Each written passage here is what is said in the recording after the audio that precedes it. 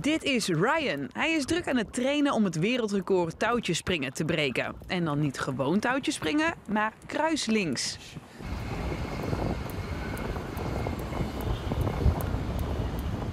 Na 55 minuten is het dan zover.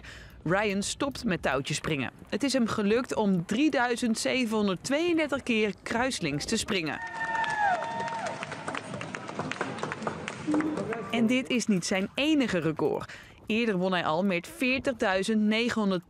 double underskips in 12 uur. Daarbij moet je veel hoger springen, zodat het touw twee keer onder de voeten zwaait in één enkele sprong. Dat gaat heel snel dus.